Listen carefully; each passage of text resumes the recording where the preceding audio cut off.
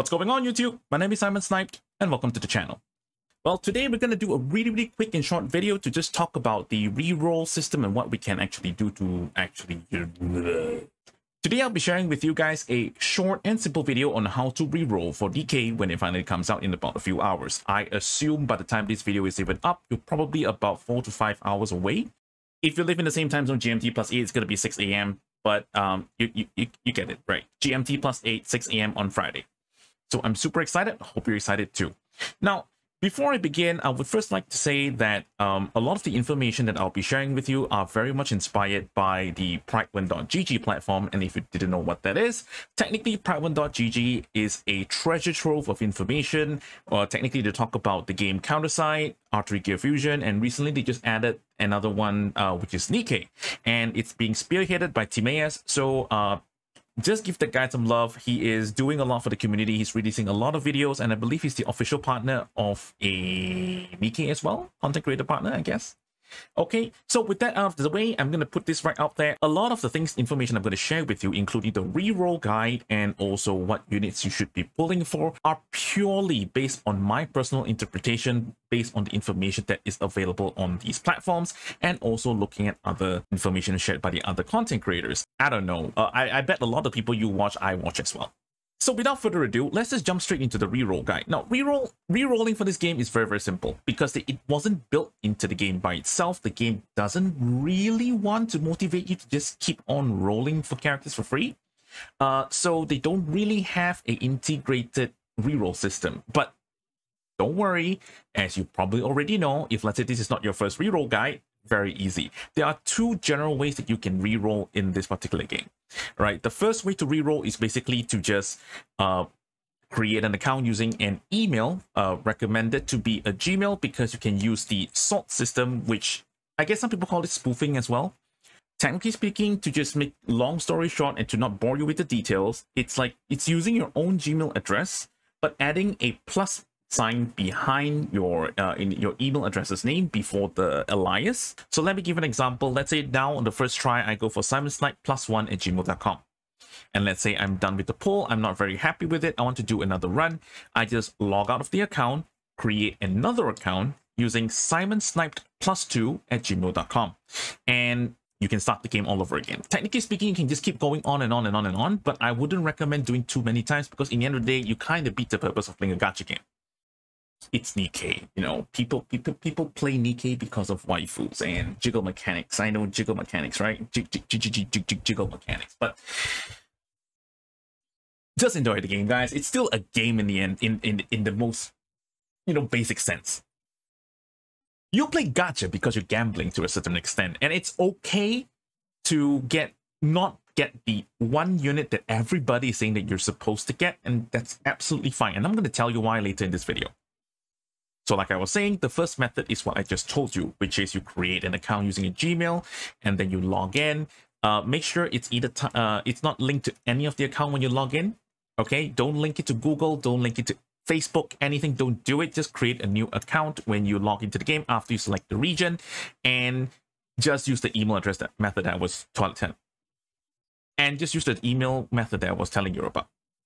Another way to do it is basically to have multiple Gmail accounts. This is super straightforward, right? If let's say your Gmail account A doesn't work, go for Gmail account B, but it's going to require you a lot of different email addresses, which it's really up to you whether how many you want to make. And that's basically it. Uh, I was told that a lot of the other methods, like for example, clearing cache doesn't really work because somehow the data is being locked to the particular email. And even if you do delete that email account, it's going to take up to 30 days before it actually clears. So it is what it is. So now we got the email creation out of the way. Let's now talk about to what extent you need to play the game in order to get your free pulls. So the process technically takes about 10 minutes or so. That's what I was told, but it really depends on what happens during launch. So technically speaking, uh, what you basically need to do is you start your game and then you go through the tutorial, complete chapter 0 and chapter 1. And at the end of chapter 1, you'll be given the free 10 pull, which guarantees you one SSR. Now, after you get that one SSR or you did the first pull, you can actually basically claim another 3k gems from the free pre-registration reward to do another 10 pull. Usually people will ask you to stop right here, but you, if let's say your pulls are really, really good or you have the units that you want, you probably want to keep that account, you can still push it to chapter 2 uh, so they can get another, you know, 10 pull, uh, 16 pulls if I'm not mistaken. But do correct me if I am wrong. Now, this just came in not too long ago, but apparently people have been verifying that you actually get 110 free pulls as well. I do not have too much information on that. Do not quote me on it. I know there is 110 pull, but how exactly to access that, I guess you just have to wait. I mean, when you log into the game, you probably see it anyway right? For those of you who's watching this video very, very much later down the road, maybe the 110 pull don't exist anymore, but generally speaking, the reroll process starts from chapter 0, finish a tutorial, finish chapter 1, get your free 10 pull with the guaranteed SSR, and get your 3k pre-registration reward gems to do another 10 more pull. And if let's say you do 20 pulls and you don't get all the units you want, you can probably just re-roll all over again. So moving on to the next thing that I want to talk about is basically now that you know the entire reroll process, how does it work, you want to think about what units you want to keep. Okay. I totally agree with what Vulcan says. The game is just way too early for you to even consider what exactly is top tier, what exactly isn't top tier, what exactly is trash. Now, the thing is, you can probably tell. We, you know, with all database available, you know, character skills, stats, and all this stuff, shenanigans, you can probably tell individually um, how powerful a specific unit is by looking at the synergy of the skills. Like, for example, you don't want a unit with a basic attack which is freakishly low, but, but every other skill just does a lot of damage. Doesn't really make much sense. So, uh, in that respect, uh, you can probably also go to Prydwen.gg. They have currently released a tier list, but based on just how well they do based on the character itself and what it was meant to be doing. Take it with a pinch of salt. It is there for a reason. It is definitely not the Bible of the game, right?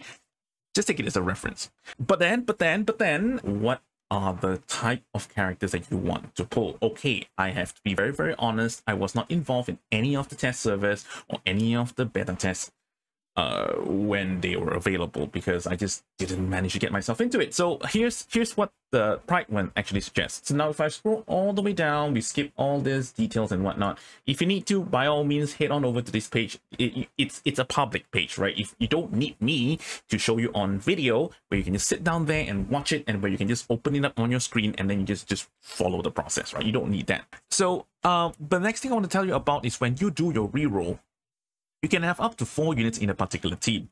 Now here's the thing, regardless of what game that you're playing, as long as they have roles like DPS, tanks, supports, etc., you definitely want to go for the DPS first during your reroll process. Now hear me out, and this is why. Imagine playing a game where you need to progress. The objectives are always to clear stages, and the only way you can clear stages is to be able to defeat the enemies they throw at you, correct? And who does that best. DPS always does that best because their entire existence to just keep dealing damage, just killing stuff. So I would definitely recommend if you're looking for a the first two units that you want to pull, possibly three SSR units that you want to pull. The guaranteed one will only give you one, but the 3K gems might land you two. I don't know. There are plenty of different luck sacks all over the world, right? In the event that you do get three SSRs, you will never go wrong with two SS, uh, DPS SSRs and one support. Now, I also agree that the defender class should always be your least priority. I mean, I'm not saying that unit is trash. Don't get me wrong. The unit definitely might not trash. Uh, and the, specifically the defender that everybody's talking about is Ludmilla. She has an absolutely great, great tank. She taunts. She does everything a tank is supposed to do. Now, but the thing is, you're not going to clear stages at the early game, especially when you're trying to progress through the content by using a tank. Make sense? Right? So if that's the case, you should always try to pull for DPS units. I mean, it's also not the end of the world if let's say your pulls are getting landing you on support units and they're not really the top tier top tier units that people are talking about, but it's absolutely fine, right? So I would advise play the game according to what you like. If let's say there's a specific waifu that you really, really just want to sim for, if it's possible, make it a DPS waifu. And if let's say it's a DPS waifu, you can just hop onto Prydwen.gg, go through the database and see what other units can actually complement that DPS waifu. And then you can just play one however the hell you want, and I hope you have a good time. So technically, that's how uh, so technically, that's the advice I would like to give in when it comes to what sort of units you should pull.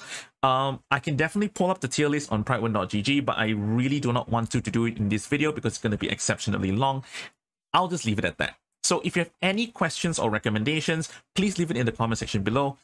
Hit the like button, give the video some love, subscribe to the channel so that I can always update you with more content. And of course, don't compare me with the bigger ones. I am definitely not as good as them. But if you enjoy watching my content, please feel free to just stick around. And I stream once a week, which is on Wednesday.